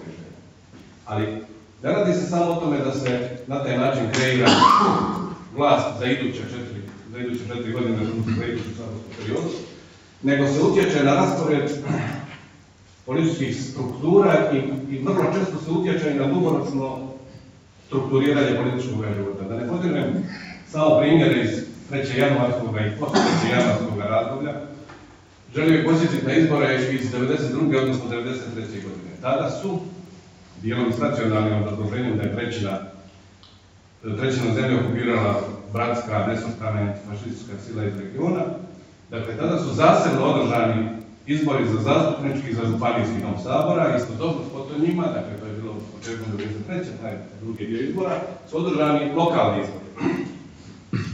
Međutim, unutar tog petomjesečnog razdoblja, razmaka između izbora za zastupnički sabor i izbora za županijski, za zastupnički dom i izbora za županijski dom, vladajuća stranka, tada je HDZ, izborna su pravila drastično promijenjena, se u vremenu promijenila promijenile se projekcije i želje vladajuće stranke. Ovdje se ne radi o tome, možda je to nekome čak i iz današnje perspektive politički simpatično, nekome možda nije, ali se radi o tome je li to etično i je li to makar u formalnom smislu bilo demokratski, doista i pravično. Međutim, ima s tim izborima 1992. godine jedna zanimljivost, to je ono zapravo na što sam htio upozoriti. Tada, na izborima za zastupnički dom Sabora 1992. godine, dogodila se jedna, jedan jedini put za života predsjednika Franje Tuđmana, da je izborni prag snižen na 3%. Nikad prije nije bio tako nizak i nikad poslije nije bio tako nizak. Zahvaljujući tome, tadašnjem izbornom pragu od 3%, u Sabor se uspjela ući socijaldemokratska partija, čija je popularnost u to doba bila pala na najniže grane, uvelike zahvaljujući činjenici da su zastupnici partije pri glasovanju o samostaljenju Hrvatske glasovali nogama, dakle napustili sabornicu na, na čast svoju i na diku narodnu. I dakle, da predsjednik Tuđman tada nije razmišljao kategorijama bipolarnog političkog sustava i da zbog niza razloga o kojima se dalo raspravljati, da sa to niti možemo niti hoćemo, dakle da tada nije snizio izborni prag, Sva je prilika da partija tada ne bi ušla u sabor, a to bi onda logično vodilo prema njezinom mrvljenju, možda i gašenju, i onda bi se na hrvatskom političkom prostoru otvorio prostor za konstituiranje socijaldemokracije na jedne posve drugačije i nove socijaldemokracije, dakle socijaldemokracije koja je oslobođena balasta partijskog zlata i hipoteke bolševizma. I na tom se primjeru vidi zbog čega je zapravo potrebno ovo unijeti ustav i zbog čega je to razuman, racionalan i nužan stvar. Vidi se kako se izbornim pravilima dugoročno utječe na sudjelovanje. Jer, rekao dakle, da partija tada nije ušla 1992. godine u Sabor, Hrvatska ne bi bila ptica s jednim krilom, kako nam je nedavno u kontekstu apliciranja za stanovite državne evropske fondove i jedan politički ornitolog, nego bi se, kao i svaka pristojna demokracija, imala bi bar dva, a vjerojatno i više krila, svakako zdravijih od sadašnjih, koja su skoro neizlječivo bolesna i koja se može izliječiti samo teškim lijekovima. Zato držim da referendum treba poduprijeti i tako omogućiti da izraze ono što žele oni, a ne ono što žele odnarođene, birokratizirane i korumpirane partitokratske strukture. Hvala vam. Hvala gospodinu Jeliću na, na predavanje, dosta ovako egzotično pun pikanterija. Mene podsjeća samo na, kad ste imali već te talijanske ovako autorske opaske, da je jedan sociolog Wilfredo Pareto je napisao knjigu Transformacija demokracije. On upravo ukazuje na, na, problem protoka, on to naziva cirkulacije elita, u parlamentarnim demokracijama, kad, te, kad stranke monopoliziraju znači, političku scenu, onda se onemogućuje taj protok. To govorim u slučaju Hrvatske koliko je važno konačno dopustiti da te e, elite i izvan sistemske, izvan parlamentarne e, dođu do samoga izražaja. Evo dajem sada riječ i zaključujem s tim Dobar dan, ja vas sve lijepo pozdravljam, zahvaljujem na e, pozivu. E, Ja sam redoviti profesor na Filozofskom Zagrebu, predsjednik katedre za antropologiju, e, predsjednik ogranka Matice Hrvatske za sociologiju, a bio sam u jednom mandatu, odnosno jednoj četvrtini mandata i u vladi 2000. godine kao pomoćnik ministra, predstavnik HSLS-a, pomoćnik ministra za visoko školstvo kao predstavnik HSLS-a. E, drago mi je da je Matica organizirala ovaj skup, e, između ostaloga zato što mislim da je e, ovo strašno važna tema i da je udruga e, u ime obitelji e, upiknula jednu strašno važnu temu prema kojoj bi se svaki građanin Hrvatske trebao opredijeliti i ja mislim da je ponudila izuzetno zdrava rješenja za ovu sadašnju krizu, sadašnju partitokratsku strukturu. E, što se tiče dakle, tih sedam načela koje predlaže udruga u ime obitelji, ja mislim da nijedno nije sporno. Dakle, preferencijalno glasanje, apsolutno. Smanjenje izbornog praga, apsolutno. Ujednačavanje vrijednosti glasova birača u izbornim jedinicama, apsolutno. Glasanje dopisom i elektroničkim putem, zašto ne? Preduvjet za kandidaturu izvan parlamentarnih stranaka 3000 potpisa može, apsolutno. E, pravilo koaliranja stranaka samostalno na izbore, udruživanje nakon izbora, izvrstan prijedlog. E, jedino ostaje ovo e, veće izborne jedinice. Sad ću vam reći zašto. Ja u načelu mislim da je to dobra ideja, ali mislim da nije dovoljno radikalno. E, dakle, moje osnovno pitanje je da li je, e, da li je udruga išla sa dovoljno radikalnim rješenjem. Ja sam jako za demokraciju i mnogi koji znaju što sam pisao, znaju da sam jako za ovaj, demokratski parlamentarni sustav, ali kad kažem radikalna, želim samo reći da se moglo predvidjeti i mnogo još drugih stvari koje su kritične u našoj vlasti, a koje se zapravo referendumskim pitanjima i prijedlozima nisu formulirane. Dakle, moja je teza da re- referendum nije dovoljno radikalan. Zašto? On bi zapravo trebao posjeći sustav kakav postoji recimo u SAD-u, a to je da zakonodavna vlast doista predlaže i izglasava zakone, a da izvršna vlast samo izvršava zakone. Kod nas je situacija takva da izvršna vlast i predlaže zakone i, i de facto, mislim, ima vlast u Saboru, prema tome, mislim, radi zakone za vlastito dobro, a ne za opće dobro, odnosno sad opće dobro, ali naprosto je pragmatična, ona jednostavno izglasava ono što je treba, Sabor izglasava što izvršne vlasti treba i tako zapravo imate jednu perpetuiranje jedne, jedne politike koje, u kojoj Sabor de facto kao pojedinačni glasači, odnosno pojedinačni mandati, nema puno što za reći. Druga stvar e, koja mislim da nije dovoljno radikalna, e, budući da je intencija referenduma da se e, poslanici približi građanima i da mi znamo koji su naši saborski zastupnici, zapravo bismo predvidjeti i sistem koji inače postoji u brojnim zemljama, barem za neke globalnim parlamentima, a to je da imate onoliko, onoliko e, izbornih jedinica koliko imate saborskih zastupnika. Ako želite u Saboru imati 140 zastupnika, 140 izbornih jedinica. Dakle, ne da, da uvećavate izborne jedinice, nego da ih smanjujete tako da svaki građanin zna ko je njegov poslanik u Saboru. To bi bila prava stvar. Barem za jedan dom, a možda i za cijeli. U svakom slučaju, ono što želim reći je da inicijativa je e, napravila, odnosno referendumska inicijativa je napravila jednu važnu stvar, a to je da je pokrenula sve građane Hrvatske, dakle nije sad to više bilo politički lijevo ili politički desno, mislim, ako gledate napise u novinama, jako velik broj ljudi i sa ljevice se opredijelio za ovu inicijativu i glasat će za tu inicijativu, što znači da imamo dovoljno svijesti i dovoljno pameti da vidimo da ovo što je sada ne valja. E, kako je do toga došlo, to je sad e, jedna druga priča, ali u svakom slučaju recimo jedan od bitnih razloga zašto se izborni, e, izborni zakoni ne mijenjaju, je činjenica, empirijska činjenica da ona vlast koja mijenja pravila igre, da zapravo gubi na sljedećim izborima. Tako da praktički nijedna vlast ne usuđuje se mijenjati pravila igre zato jer zna da će, da će glasači reći aha, oni su nešto brljali, mrljali, zato da ostanu na vlasti i de facto kažnjava bilo kakvu promjenu izbornog sustava. Um, nekoliko još pitanja vezanih za, za ovaj referendum, a pogotovo za uh, referendum općenito.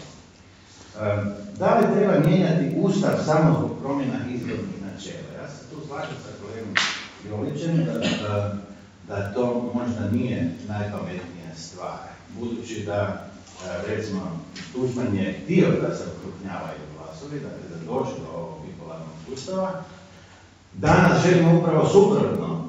Drugim riječima, kad bi sad Ustav morali mijenjati svaki put kad se pokaže da je zapravo sustav loš ili da je doveo do loših rezultata, previše bi mijenjali Ustav. Ali, ali u svakom slučaju mislim da je dobro da je inicijativa pokrenula kao ustavno pitanje, ne zato što mislim da je to Ustav, nego da ljudima dođe do pameti e, važnost tog problema. E, što ako je sadržaj referendumskog pitanja ili referendumskih pitanja suviše kompleksan za odgovore da ili ne? To je jedan veliki problem sa ovim, sa ovim prijedlogom. Dakle, ima jako puno prijedloga oko kojih ljudi imaju različite stavove, da li tri, da li četiri, da li pet, da li ovakve jedinice, onakve jedinice, i zapravo je ljudima teško onda reći da ili ne. Uh, I u tom smislu, ako slučajno ovaj referendum ne uspije, što meni bilo osobno jako žao, uh, onda će razlog za to biti upravo to da cijela priča prekompleksna za odgovor da ili ne. Što ako bi glasači htjeli izabrati samo neka načela predložena referendumom, a neka ne? Moj odgovor je da osobno ne vidim mnogo podržavatelja referenduma koji bi izabrali neka druga načela, a druga ne, što ne znači da se u svakom predloženom načelu ne može dodatno odlučivati ako referendum prođe, to je moje mišljenje. Uh, naravno da to baš i nije najbolje taktički, znate, ono, mi smo pokrenuli referendum, dobili smo mandat da promijenimo ustav, ali idemo se sad još ipak malo dogovarati, možda ipak ne, sve nije bilo dovoljno precizno formulirano. Nije to baš naj, najbolji za pokretača, ali možda niti za, možda niti za javnost. Um, ono što je sporno, je e, inače pitanje e, stabilnosti vlade. Kad vi razmrvite zašto zapravo nemamo takav sistem 140 jedinica, 140 poslanika, jest e, e, empirijska spoznaja da su koalicije nestabilne stvari. I recimo Italija je dobar primjer, mislim oni koliko vlada su imali posle ratnom razdoblju, svako malo mijenjaju vladu i ta nestabilnost vlade je također jedan problem. Mi imamo obrnuti problem, mi moramo razmrviti ovu dominaciju, ja? ali u svakom slučaju jedan od razloga zašto nikom nije palo na pamet da ima je da zapravo bi to bilo toliko nestabilno da, ovaj, da zapravo vlast bi bila onemogućena.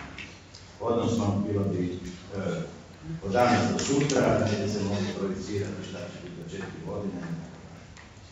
Drugo, nestabilnost vlasti eh, je još jedan problem zbog još jednog razloga, a to je eh, zbog pitanja postoje li garancije da će zakoni predstavnik pogotovo iz sustava, biti manje korumpirani.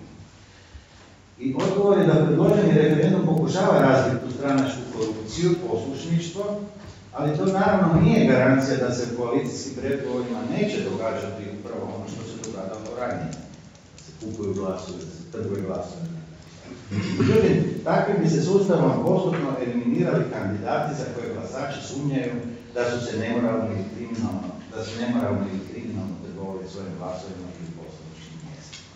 Prvim riječima kandidat za kojeg znate da je, to se i dešavalo i i u- i našem parlamentu, za kojeg znate da je nešto trgovao, nešto mutio, sljedeći put on je, da, on je ovaj, persona za njega više ne glasate i ovaj, čak i stranka koja je tako radila zapravo je obilježena i više za nju ne želite glasati. I u svijetu postoje duopoli, recimo Sjedinjene američke države, ovaj, Velika Britanija. E, Zašto je u nekim zemljama korupcija duopola, zašto ona nije problem? Zašto recimo Amerikanci ne razmišljaju o, razvijenju duopola?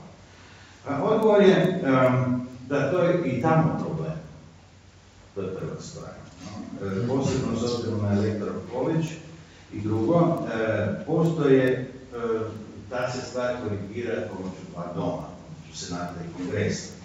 Dakle, taj duopol je ipak razmrenjen time što, što za velike odluke morate dobiti potvrdu od dvaju različitih izbornih tijela. E, Drugo, poslanici su većim dijelom odgovorni prema svojim glasačima, kongres biraju po vrlo malim lokalnim, malim formiranim lokalnim jedinicama, tako da oni o, moraju biti odgovorni svojim glasačima između ostaloga ne najmanje bitno je zbog toga što je njihovo djelovanje većim dijelom ovisi o financijama njihovih glasača.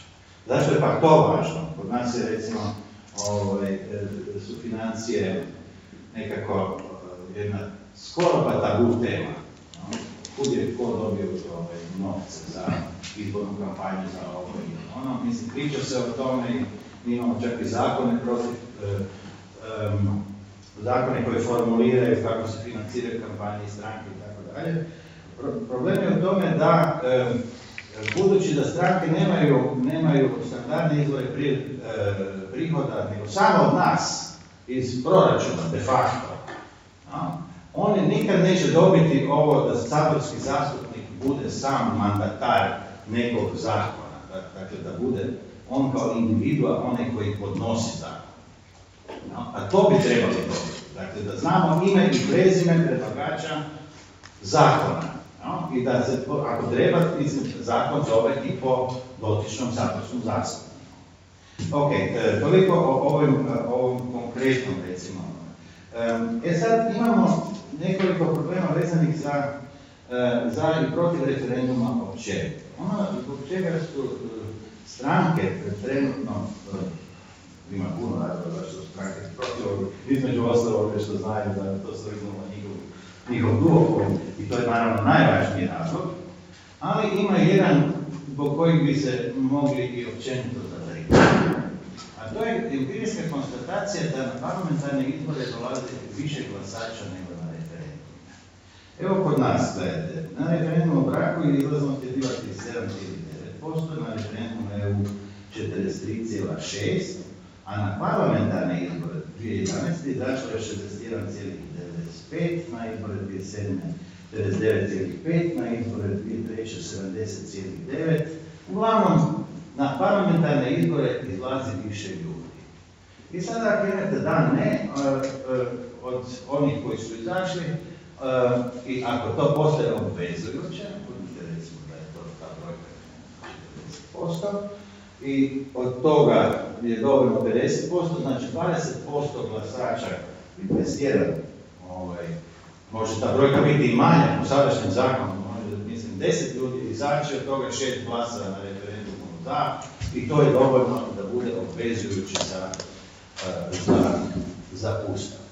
To je eh, jedna stvar koju bi trebalo svakako izbjeći no, i zbog koje se mnogi ljude boje referenduma općenito.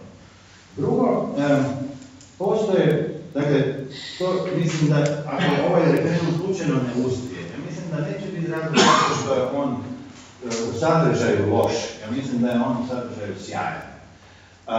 Ono zbog čega mislim da postoji opasnost da on ne uspije je jedna vrsta zamora ljudi. Već smo bili na dva referenduma u zadnjih ne znam koliko godina, pa nećemo, mislim, koliko put bi trebali? Neko kaže to puno košta, nije razlog u tom da mi imamo na pameti koliko košta, nego, ma ne da mi se toliko ići na glas, na glasačka mjesta. Ja? Dakle, taj zamor, ovaj, je, ja mislim, eh, ako će, ako ovo slučajno ne prođe, onda će to biti glavni razlog eh, eventualnog neuspjeha.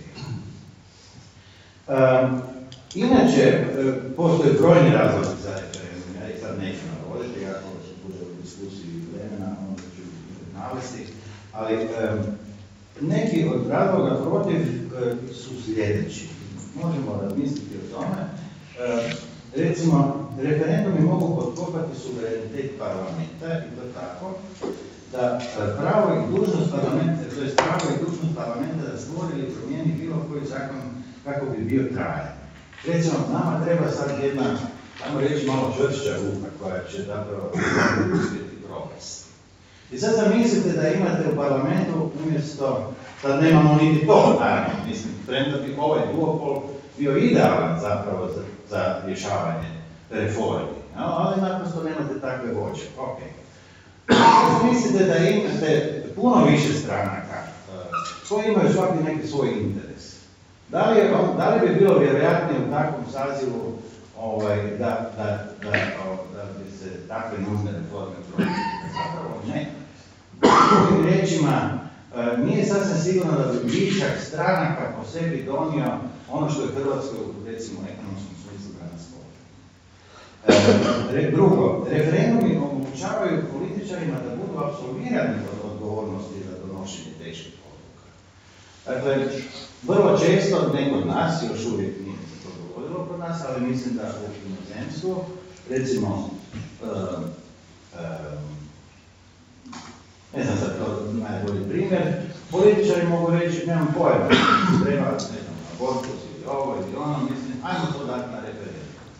Em, idemo vidjeti.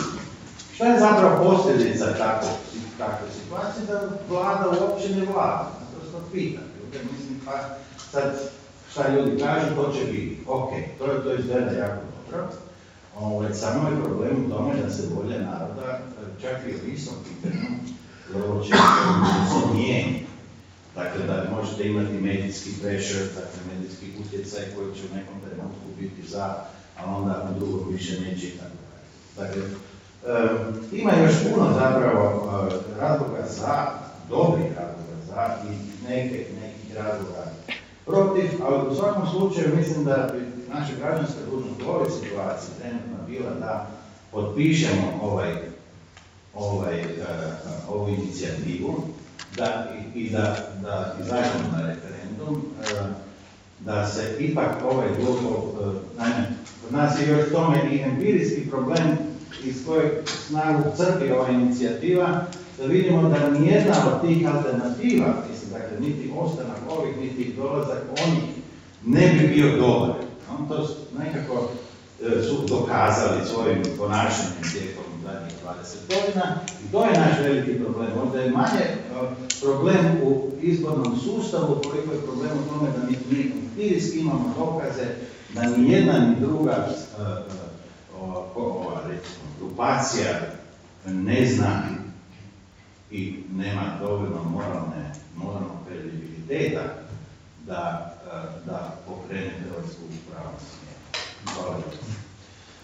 Hvala gospodinu Polšeku. Ja sam mislio prije nego što otvorimo raspravu da imate znači po dvije minute replike, a s obzirom da smo e, već stvarno prekoračili vrijeme koje nam zadano, jedino ako stvarno je važno, onda bi otvorili raspravu dva, tri pitanja maksimalno i imenice, znači kome upućujete pitanje. Mogu ja, e, e, ja sam Ante Periša, podržavam ovu inicijativu svakako, dolazim iz Kanade, proveo sam tamo na 30 godina i govorim vam kao običan poreznik u Kanadi, kako to izgleda. Jednostavno, kad sam došao tamo 80 godina iz demokratskog centralizma i sad moram priznati da sam se ponovno vratio u demokratski centralizam, malo modificirani. E, profesor e, Pošer, vi ste spomenuli, e, ovako tamo, tamo je po izbornim jedinicama i u svakoj izbornoj jedinici se natječe dvije, tri, četiri, pet stranaka. Tamo je isprofilirane su dvije, tri i onaj sa najvećim brojem glasova ide u parlament i on predstavlja tu izbornu jedinicu. Ljepota tog, zapravo funkcionalnost tog izbornog sustava u Kanadi je da ja mogu, što sam i činio, na federalnom nivou, provincijskom nivou i gradskom na vrijeme, da ja nazovem Mr. McLaren, ja ne želim ovaj zakon što se priprema u parlamentu u Otavi da prođe ili ne prođe. I on će meni odgovoriti, imali smo prilike, ne samo ja, nego drugi, da se sastanemo i da razmotrimo to i da kažem sljedeći put, ovisi o vašem glasovanju, dobit ćete idući put glas ili ne. Prema tome, on je odgovoran meni i svim ostalim koji su ga izabrali. Uh, vi ste spomenuli profesor Bošak u SAD-u, to je Madison demokraciji. Tamo ima isto važno veli no presentation, no taxation. Znači, što se ovdje gubi, oni od poreznog obveznika moraju to voditi ispravno i kako treba. Hoće li biti uspješno ili ne. Evo, prenosim ukratko kanadsko iskustvo i bez imena, prezimena nema funkcionira. Hvala. Pitanje za gospodina Tvrtka Jelića. Naveli ste da niste za uvođenje u ustavu ovih, ovih reformi. Čini mi se da su ostali sudionici bili da se, da se to uvede u ustav. Pa niste, koliko mi se čini, naveli argumente za vaš stav, pa ako biste mogli to sad napraviti. Hvala na pitanju. Pa on se stvar nekim nekim stvarima loše. Na primjer, jedna dobra stvar ovog preferencijskog glasovanja je to da ćemo imati priliku na listi izabrati kome želimo pokloniti svoj glas. Tu se polazi od jednog ovaj, optimizma, čini mi se, ovaj, da će stranke, predsjednici, već nekako odlučuju da informiraju, mislite da će staviti ok ljude, koje ćemo mi moći stvarno ovaj, izabrati, koje ćemo smatrati vrijednim da im pokojimo ovaj svoj glas. Međutim, ja se bojim da stranački šefovi kod nas su možda još gori od toga i mislim da bi ovaj, moglo doći do tendencije da se jednostavno sa liste maknu svi dobri ljudi koji bi stvarno ovaj, htjeli pokloniti kandidate. I onda ćemo onda zapravo dobiti još puno bolju situaciju nego što imamo sad. Imat ćemo samo niz listi u kojima nećemo želiti nikome dati svoj glas. E, to je moj jedan stav. Zašto ne bi ono, zašto mislim da stvari mogu poći po krivu i zašto bi bilo dobro da možemo na vrijeme reagirati i to promijeniti. Je li to znači da mislite da šefovi stranaka ne bi naučili lekciju, da kako bi jedan put postupili tako da bi drugi put došli u prigodu da, da tako postupili? Ne samo to, nego to nije argument za ustavno uređenje. Ovo što spominjete, to je moguće i zakonski ustav. Koji argument za ustavno uređenje nismo čuli. A, a vaša argumentacija je vezana za vezano za sastavljanje lista od strane uh, stranke, odnosno političkog vrha, dovela bi do situacije da ako stavljaju, kao kažete, nepopularno, ta stranka jednostavno ne dobije glas, mislite da ipak da je toliko ludih predsjednika stranaka, ja ne mislim. Da, ipak mislim da su dosta brojke prisutne u njihovim analizima i analitici, a što se tiče ustavnog uređenja, mislim da je je dobro koji je profesor Podolnjak su spominjali zašto je potrebno to. Prvenstveno razlog političkih opcija, odnosno političkih kalkulacija u izmjenama izbornog zakonodavstva a europske primjere smo jednako tako dobro čuli koji su to europski ustavi koji e, sadrže i zašto bi to bila demokracija, odnosno zašto se ugledamo na takvu, vrstu režima kao demokracija. Ja samo ću reći s tim, e, e, naša je situacija da, da zapravo izborno zakonodavstvo nije pretjerano Dakle, mi nemamo taj problem da, da bi vlast htjela cijelo vrijeme mijenjati ovaj izborno zakonodavstvo na svoj liniji. Tako da, e, a volio bih da Ustav bude na neki način jedna svetinje, mislim, ajmo se tako nazvati, da, da, ono, da, da Ustav bude jedan dokument stvarno konstitucijski, da se ne mora mijenjati kad, kad neke stvari pođu po zlu. Ali velim, u ovom slučaju, mislim, ja sam jako, jako za cijelu inicijativu. Ali Ustav mislim da ne bi trebalo mijenjati jako često, evo, ajde tako. Mislim, imali smo ono sustav, koliko smo imali ustav u komunizmu, ja mislim, ovih ustava, ne, desetaka, mislim. Mislim, ja, ja mislim da ovaj, nije pretencijno bi bilo da ja odgovorim, prosto Podolnjak će kazati ispravno ovaj predlog da se izborno zakonodavstvo mijenja praktično u svakom izbornom ciklusu. Da se mijenja? Praktično u svakom izbornom ciklusu. Pa htio sam sad zapravo malo replicirati jer e, e, na onu vašu da ko god ide mijenjati izborni zakon gubi nakon toga. Nije baš tako. Sjetite se samo HDZ-a kako je dobivao izbore 92. i 95. a neposredno to je mijenjao zakon. Dakle, i dobio izbore. A zašto je mijenjao 2000, odnosno krajem 99. Jer je znao da ne može više u većinskim izborima polučiti, može samo katastrofalno izgubiti. I onda je odabrao razvojni sustav da se razvojno opstane u parlamentu sa nekakvih 30% eventualno glasova, ali bio suočen sa koalicijom, znate tada, šest parlamentarnih strana. Ta koalicija bi Hametice izbrisala HDZ sa lica zemlje, da su bili većinski izbori osam. Dakle, u toj koaliciji oni bi dobili ništa, nula bodova. Prema tome, zato su, zato, zato je HDZ prihvatio izmjenu zakona. Uvijek je to s pozicije interesa za pamtiti. Uvijek. I onda kad ne misli da je, je. I to u svim demokratskim državama. Nemojte misliti da smo mi tu neki izuzetak, da smo mi tu neki Balkan. Ne. To rade u Italiji, u Engleskoj, u Njemačkoj, u Francuskoj, svugdje to rade. To rade i Njemci koje sam ja prije spomenuo. Zašto je Njemački ustavni sud ukinuo dva zadnja izborna zakona koja je donio Njemački parlament? Pa zato jer su bile, bili su u interesu koalicije CDU-CSU. Njima su išli na ruku, Ustavni sud je rekao nakon ustavne tužbe SDP-a i stranke zelenih da to nisu zakoni u skladu sa Ustavom. I zato treba ići zakon ovoga izbornog zakonodavstva. Zato što se stalno ruše izborni zakoni tamo gdje su ustavni sudovi dovoljno jaki da to učine. Naš, nažalost, nije bio uvijek dovoljno čvrst. Kad je trebao srušiti zakon o izbornim jedinicama, nije se usudio. Imao je dovoljno argumenta da to. Jedna stvar koju ste vi rekli oko izbornih jedinica, to moram reći ovdje, ne biti ostalo visiti u Ja sam jedan od onih koji se da se barem dio zastupnika mora birati u izbornim jedinicama koje nazivamo jednom mandatom. Znači ono što imamo u Kanadi i nekim drugim anglosaksonskim državama. To po meni nije sporno, ja bih birao apsolutno većinom, jedan dio. Koji dio moram zadržati sebe, dio sam radne skupine predsjednika Republike koja o tome ozbiljno promišlja neka rješenja su na tragu ovoga što vi govorite. Ali, zašto to ja ne bi savjetovao gospodinu Planiniću i da me pitao i da je tražio mišljenje? Rekao bih, ne sad, jer to ne ide, to ne ide automatski na prvim sljedećim izborima. Vi morate definirati izborne jedinice.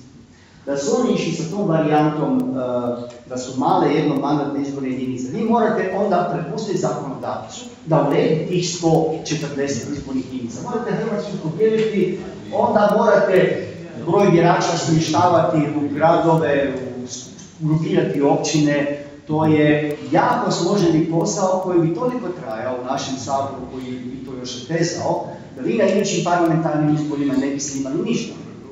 Oni bi rekli da je to preteško napraviti u razumno kratkom roku. E, ona je jedna sitnica koju niste primijetili e, u ovom periodu. Da grupiramo županije i grad Zagreb posebne izborne jedinice da izborni prag 3%.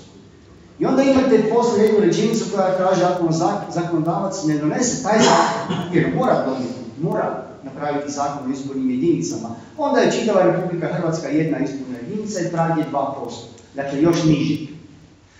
To je stavljeno samo zato da većinskoj vladajućoj koaliciji bude jasno da je to ustavno primjenjivo. Sve ovo što tu stoji, osim elektronskog dopisnog glasovanja, koji je posebni paket. Ovo ide direktno na prve sljedeće parlamentarne izbore. U tome je kvaka. U tome je panika. Jer se zna da je ovo neposredno primjenjiva ustavna odredba.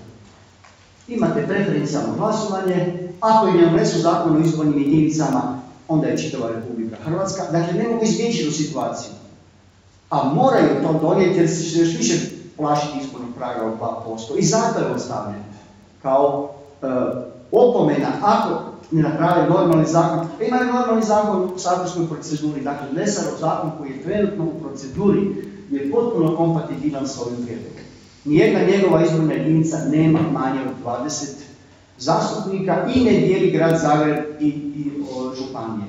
Dakle, taj zakon u potpunosti ispunjava uvjete kad bi na referendumu prošlo ovo referendumsko pitanje, drugi dan se u Saboru može usvojiti. Prema tome, e, čitav prijedlog je koncipiran kao jedna konstrukcija koja može ići odmah na prve sljedeće parlamentarne izbore. Zato nije radikalnija izborna reforma. Zato nema jednomandatnih izbornih jedinica.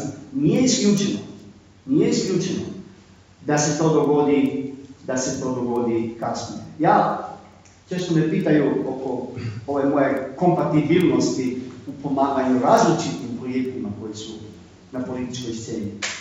Ovo što radi inicijativa u ime obitelji, to smatram pravcem u ruci. Ono što radi predsjednik Republike trenutno, to je grlica na grani. Jedno i drugo visi. I jedno i drugo nisam siguran hoće li proći. Daj Bože da prođe ovo. I ovo je trovljavo i neinteligentno. Gledajte, da prođe inicijativa o reformi izbornog sustava, koja je nužna, mislim da po svemu što znamo u javnosti, ona je nužna. Većina javnog mijenja će to podržati. Cjeloviti novi ustav koji će sigurno imati izborni sustav u ustavu, što vam jasno govori da to misle najeminentniji ustavni pravnici ove države, na čelu sa predsjednikom Republike, da i to bude u ustavu. I taj prijedlog, ako dođe do te situacije da bude predstavljen javnosti, mi znamo pod kojim uvjetima u koje ja ne želim ulaziti, onda će se tome voditi javna rasprava koja će biti sigurno duža, zahtjevnija, koja će možda uvažavati elemente većinskog izbornog sustava. O tome će se sigurno provesti kvalitetna javna rasprava, ako to ikada dođe na javnu raspravu. Ali ovo je paket za odmah i sada, za prve sljedeće parlamentarne izbore. I to je minimalni ishod, barem preferencijalno glasovanje i korektne izborne jedinice. Ovo ostalo kao dopisno glasovanje elektronsko, to je stvar promišljena kasnije tehnoloških, e, sigurnosnih i svega ostalog. O tome ne treba sad govoriti. Prema tome, mislim da to djelomično odgovara na ovo. E, ja sam, koliko, otpora postoji reformi, ja nisam siguran da će bilo koji od ta dva projekta proći. Da vam budem iskren, u Saboru nikad neće proći. Niti ovaj, a ja se usuđujem otvoreno reći, a niti predsjednikov, ako bi ikada došao na dnevni red, nema teorije da to prođe u Saboru. Prema tome, jedina šansa koju ja vidim da to prođe na referendum, jedina I to možda na referendumu građanske inicijative. To je moje mišljenje, ne mogu govoriti o pojedinostima, zbog toga smatram da referendum mora ostati taj sigurnosni ventil. Kad se zatvore sve mogućnosti, kad parlament apsolutno ne reagira na ništa, godinama, niti na ustavni sud, niti na javno mjenje, niti na bilo što, nisu spremni na iskorak godinama, onda ostaje jedino građanska inicijativa. I hvala Bogu da ona postoji u ustavu. I vjerujte mi da ona neće biti u gorem obliku, u eventualnom novom ustavu, bit će u boljem. Bit će u boljem. I zbog toga se iskreno nadam da će i vraba u ruci poletiti, ali će jednog dana grlica na grani. Onda će nam ostati demokracija vranac. Po onome što ja znam, po onome što, što je u ovom paketu i što bi bilo u onom sljedećem. Znate, gospodine, ove, vi, mislim, vi se pozivate vrlo često vašim ove, prilozima e, na njemački sustav, na njemački sistem glasovanja. Zato me e, čudi e, da vi se ne pokušate referirati na njemačku, na njemačku praksu, na njemačko iskustvo. Ja sam isto toga da se ta kategorija uvede u, u, u Ustav, jer da se zbog toga da se ne bi cementirali društveni odnosi. Znači ima razloga zašto su to njemački očevi i majke e, njihovog ustava izbacili, odnosno isključili iz ustava. Ali to su bili političari koji su imali svoj interes. Ja, ne, ne, nisu bili... Ne znam koliko interes. njemačku povijest i stvaranje njemačkog ustava. E, Ne znam, pogledajte si, ako znate njemački, e, moći ćete to pročitati, moći, će, moći ćete neke stvari saznati. Što konkretno zamjerate Hm? u onome što ja javno... Ne, to što vi tražite da se to uvede u Ustav. Ja sam recimo konkretno da se, da se izborni zakon ne, ne, da se odnosno ta kategorija ne, ne, ne uvodi u Ustav, jer se upravo taj, na taj način cementiraju društveni odnosi, a Ustav mora biti taj koji će omogućiti fleksibilnost jednog društva da, dru- da mijenja svoje zakone i prilagođava svoje zakone svojem društvenom, određenom društvenom razvoju. Evo gledajte, imate primjer Mađarske. Mađar, Mađari sve što su željeli promijeniti, nakon što su dobili desničarsku veličinu, većinu na svojim izborima, promijenili su ustav i to strahovito. A što će se dogoditi da recimo za jedno 10 godina dođe ljevica? I počne isto sve mijenjati, a ima naravno uvjet. Vi znate mađarsku gospođu i njihovo iskustvo sa izvornim sustavom. Čujte, znam donekle toliko da mogu neke stvari zaključiti. Mađarska ja bih dobar da primjer za ono ste putem ženemo, razumijete, o tom se radi. Mađarska je najbolji primjer koji ste mogli spomenuti. Mađarska Fideszova vlada je nije stavila izborni sustav u, za, u ustav, ali ga je stavila dvotrećinskom većinom kao organski zakon koji ima dakle istu težinu kao kod nas ustav. Dvotrećinska parlamentarna većina. Stavili su ga tako da bude nedohvatan, zacementiran za sva vremena. I to takav izborni sustav koji njima opet daje ovih dvotrećinsku većinu. To je najgori sustav danas koji je posložen u Europi. I zabranili su referendum, zabranili su ga ustavom, da ga uopće građani imaju. Da ne bi slučajno referendum mogli promijeniti zakon koji su cementirali dvotrećinskom većinom kao organski zakon. E vidite, to je Mađarska danas. I Fidesz za vijeke vijekova, amen. Jer nitko drugi neće doći na vlast po sustavu koji su si oni posložili. To je Mađarska danas. Ne daj Bože da nam se tako nešto Što dogodi. Drugu stranu i onda se ljevica opet digne, onda ćemo opet istu stvar. Znači nikad nećemo razviti demokraciju, nego ćemo imati demokraciju Evo, ja, ja bi završio jer nam je isteklo. Mislim da bi imalo svakako pitanja, ali evo moramo privesti kraju.